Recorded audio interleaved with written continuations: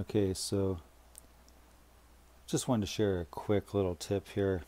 I had a little incident with my uh, light that overhangs the uh, the staircase on my you know Atlas Roundhouse. Um, actually, accidentally went to grab something, and I uh, snapped off my little lampshade here. So I just wanted to show you something I did to rectify it. I took a piece of uh, wire, oh, sorry, I took some wire, 18 gauge wire I had, and I stripped the casing off. And then I cut and adjusted this, sorry, the size of it to fit the, um, to fit the uh, lamp um, post hanger.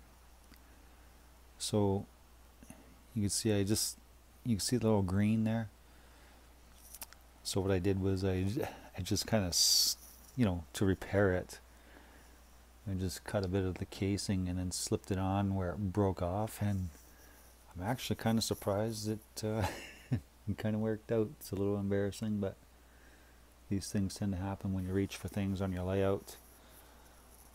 So yeah, 18 gauge wire, strip the casing off to about a quarter inch and then uh, just slip it back on. And hopefully it's not too too noticeable. Like if I mean if you're standing back you're not going to notice but uh, you know just kind of glue it back on or just actually just stick it on as is. Then if it ever happens again you just kind of gently put it back into place and it's fine you know but uh, I think probably what I'll end up doing is uh, maybe just painting the green casing a little bit you know, paint it a gray color so it's undistinguishable undistinguishable by the eye so yeah.